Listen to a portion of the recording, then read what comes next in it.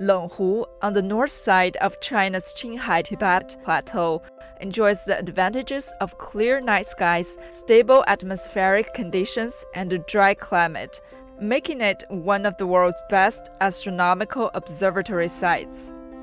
Construction of the Lenghu site started in 2018. Upon its completion, it will house at least nine optical astronomical telescope projects, including some 30 telescopes with an investment of nearly 2 billion yuan. 经过我们这个三年的连续监测，我们比较了这个国际上就中纬度地区的这些大型天文台，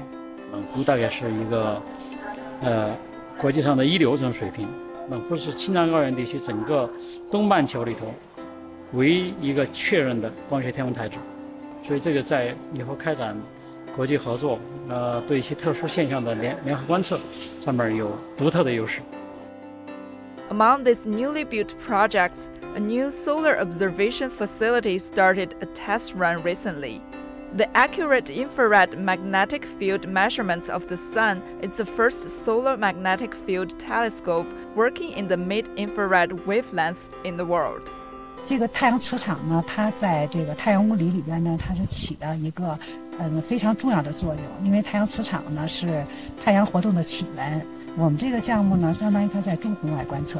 它的作用呢是能够更精确的测量太阳磁场，这样就为这个太阳活动的爆发呢提供更准确的那个太阳预报模型。